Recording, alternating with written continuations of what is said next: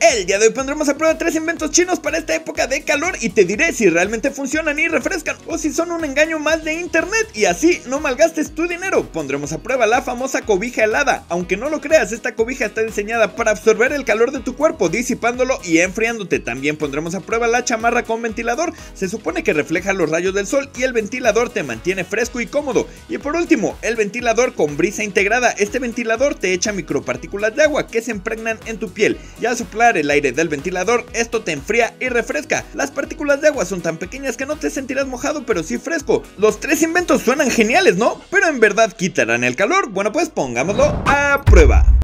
Vamos a poner a prueba esta chamarra que es para refrescarte. Yo sé que suena ilógico que cuando hace calor uses una chamarra para refrescarte, pero esta tiene ventiladores y además su tecnología refleja los rayos del sol y no absorbes el calor y te mantienes fresco. Está interesante, me dijeron Jimmy, pon la prueba y dinos si es verdad. Así es que bueno, veamos si vale la pena por su precio y pongámosla a prueba. Entonces me llegó, la abrí y es así, la tela se siente extraña, tipo impermeable pero fresca, viene con sus ventiladores, pero debes conectarlos a una power bank, la cual no viene incluida, pero bueno, le conecté todo, me la puse y de primera sentí bien rico en la espalda, como puedes ver se infla y circula el aire, eso se siente bien, la usé un buen rato, al sol y también a la sombra, después de usarla debo decir que sí se siente fresca, pero debería traer aire también adelante, la idea creo que es buena, pero siento que aún es un producto chafa y los ventiladores atrás incomodan al caminar, la idea es buena, pero falta que refresque más, yo le doy un 6.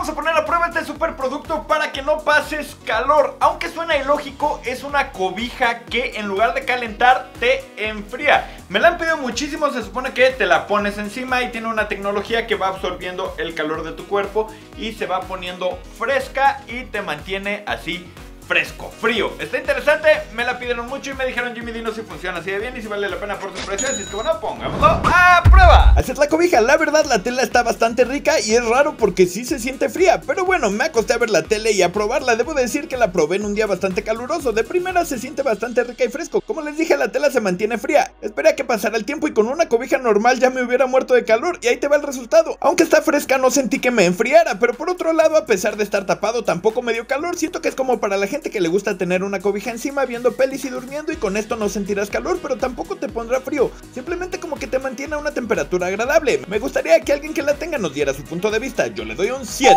Ahora vamos a poner a prueba este super ventilador que tiene la innovación de que tiene brisa pues que te va a mantener frío y pues así no tienes que gastar con lo caro que son los climas o aires acondicionados. Vamos a ver si esto es una opción y si vale la pena por su precio. Así es que bueno, pongámoslo a prueba. Entonces agarré, lo abrí, lo saqué, lo armé y así quedó. Primero te muestro cómo funciona. Aquí sale el agua como tipo humidificador, pero bueno, lo conecté y así es como sale. Siento que es muy poco. Lo prendí, puse mi mano y apenas se sentía. Me acosté, me lo puse directo y... no sentí nada. Literalmente se siente como un ventilador normal. Si vas a comprar uno, asegúrate que la brisa no sea de humidificador y que sea más de atomizador. O puedes comprar algo como esto y conectarlo directamente a la manguera y a tu ventilador y te saldrá mucho más económico. A este ventilador le doy un 2.